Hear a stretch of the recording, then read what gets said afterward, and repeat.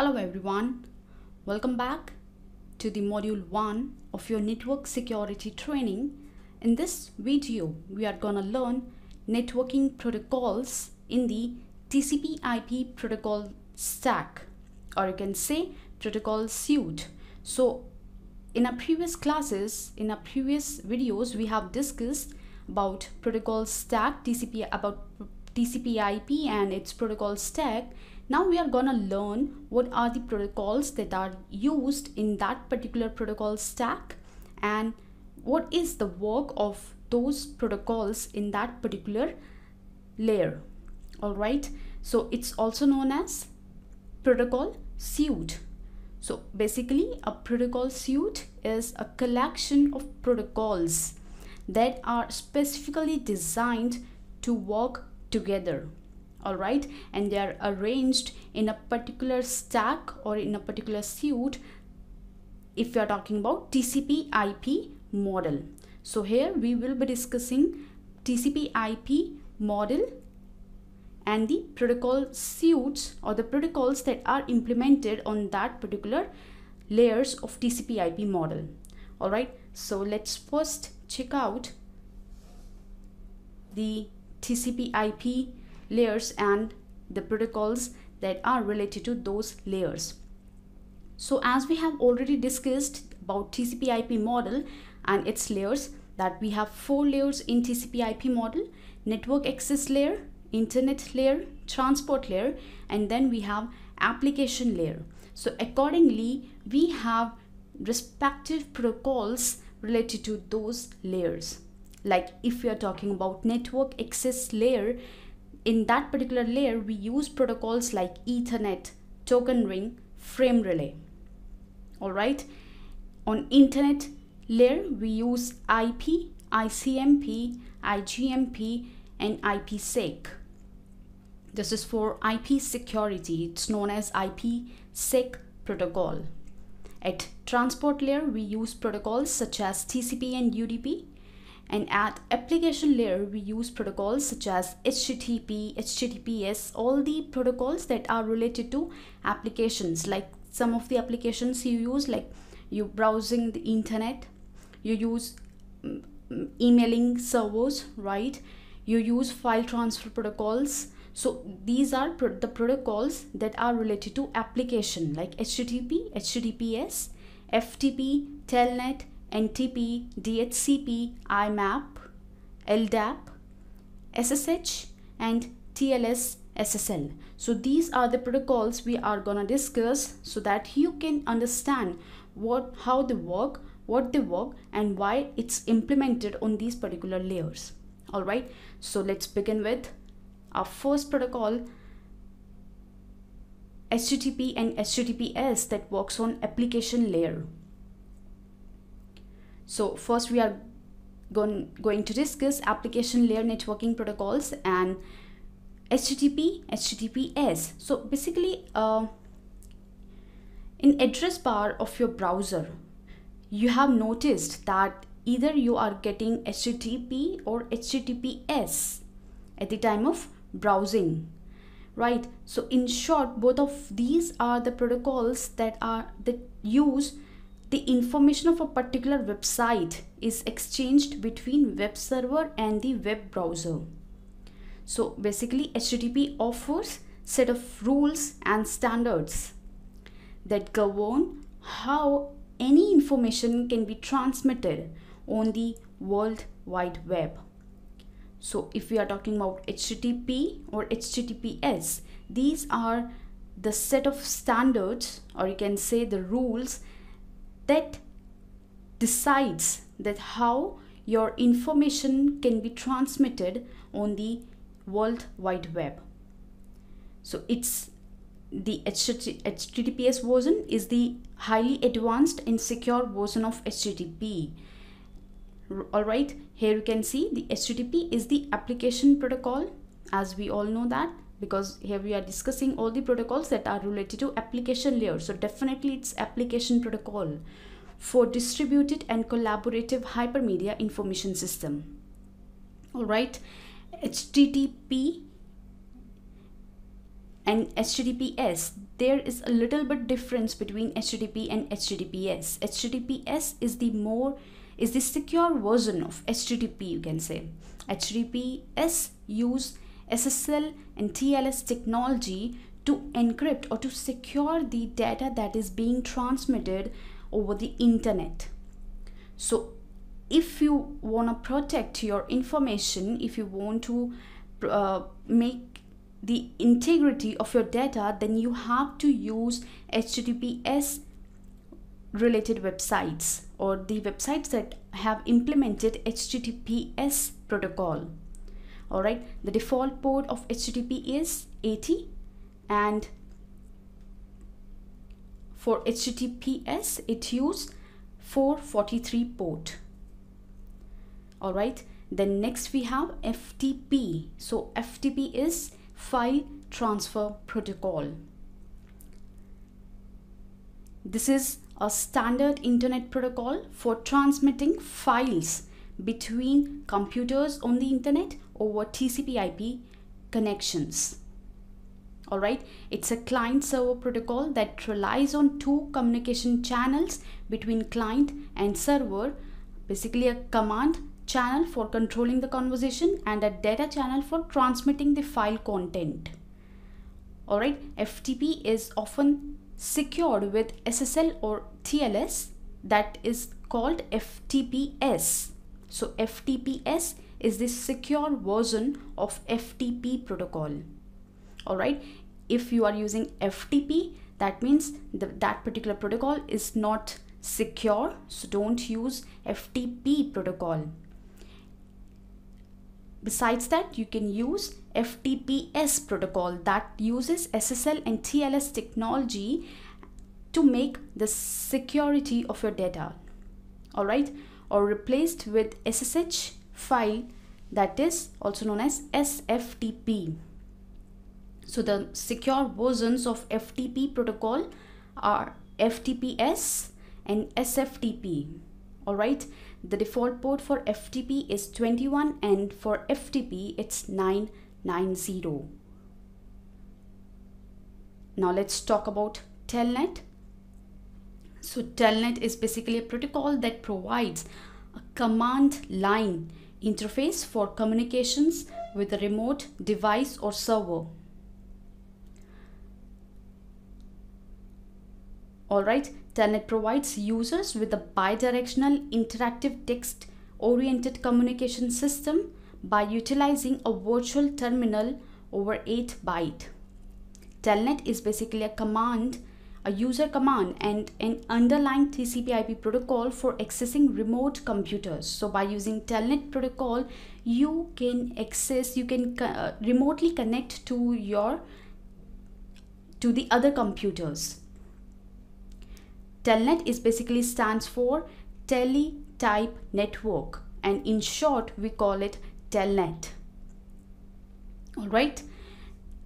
Through Telnet, an administrator or another user can access someone else computer remotely. As I said that by using this protocol you can connect remotely to some other computers.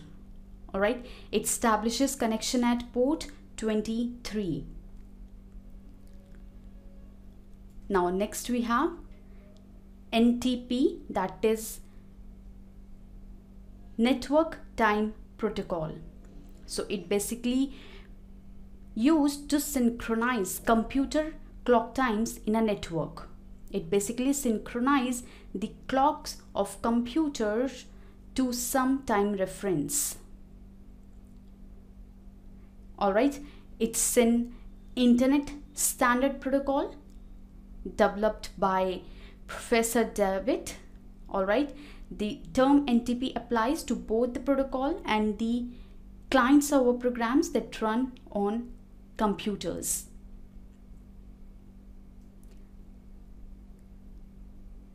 It works on port 123.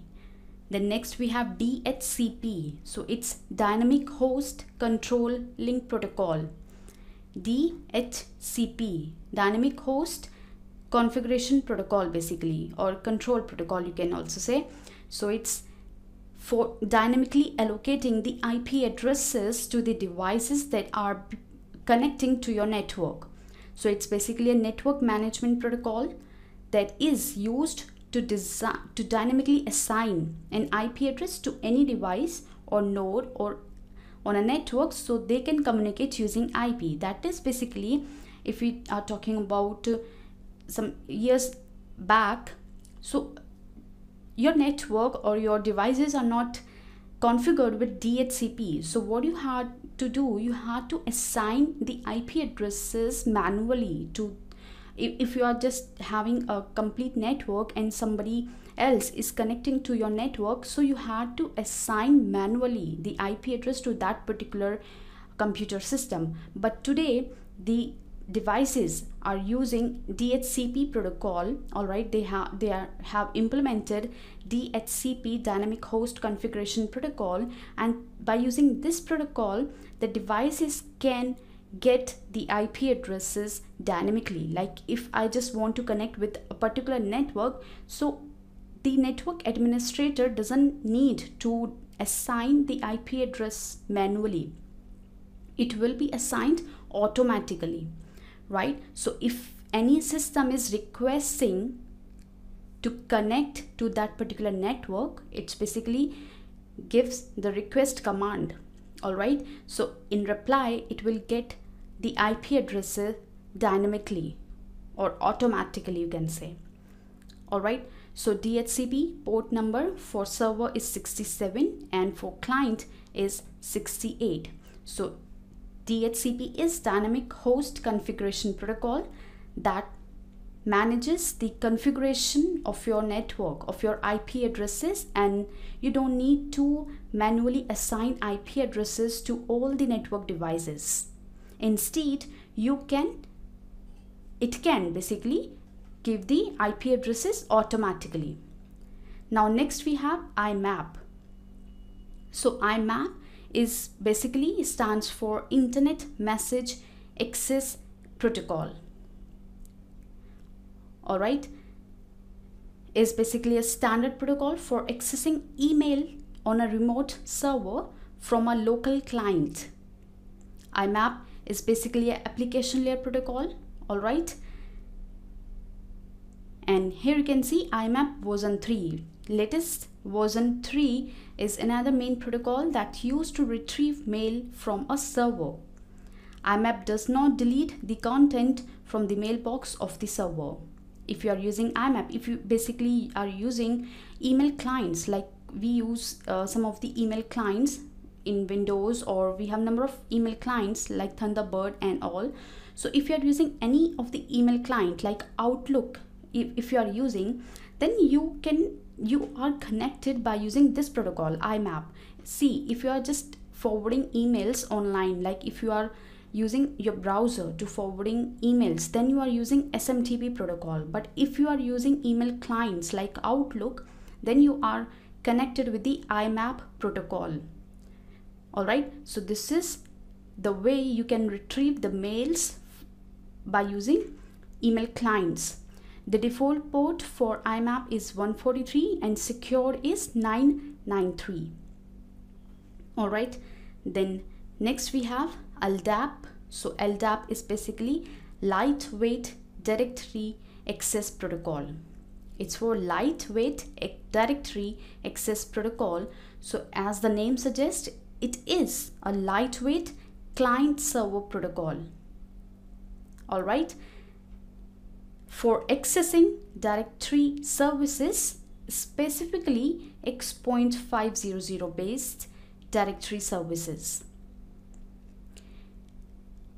All right. It these services, LDAP services, run so over TCP/IP or other connection-oriented transfer services a standard application protocol for accessing and maintaining distributed directory information services over an IP network. Alright, it uses a relatively simple string-based query to extract information from Active Directory. Like it basically uh, you can use a, a particular commands it has some number of queries or the commands that you can use to retrieve any of the information related to the active directory all right the TCP and UDP port for LDAP traffic is 389 now next let's talk about SSH so SSH is secure shell also known as secure socket shell. It's basically a network protocol that gives users, particularly system administrators, a secure way to access a computer over an unsecured network. Alright, SSH also refers to the suite of utilities that implement the SSH protocol. It provides strong authentication and encrypted data communication between two computers. Alright, it provides several alternative options for strong authentication and it protects the communications security and integrity with strong encryption. So basically SSH is the protocol that is used to make the security or the integrity of your data. the standard port for TCP for TCP port for SSH is 22 all right then next we have TLS and SSL so SSL is the standard technology for keeping an internet connection secure and safeguarding any sensitive data TLS stands for Transport Layer Security is just an updated version or more secure version of SSL. So here we can see uh, we have SSH and TLS SSL. So these are the protocols that are used to make to secure your data that is being transmitted over the network. SSH protocol uses encryption to secure the connection between a client and a server. Alright, SSL is also the technology that is used to make secure security of your data and safeguarding any sensitive information. So if your website or if basically you are using https protocol or ftps protocol basically the security protocols if you are using that means they are implemented by using tls and ssl technology. All right so these are the protocols that are used at application layer. Now in the next video we will be talking about other protocols. So stay tuned